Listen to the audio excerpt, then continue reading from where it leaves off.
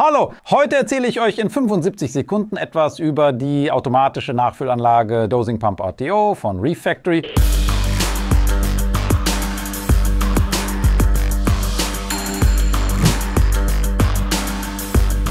Hierbei handelt es sich um ein äußerst präzises Gerät, das eine hochpräzise peristaltische Pumpe mit Schwimmerflüssigkeitsstandsensoren integriert. Durch diese füllt die Dosierpumpe ATO den Wasserstand bei sinkendem Wasserstand automatisch wieder auf und sorgt so für stabile Parameter im Aquarium.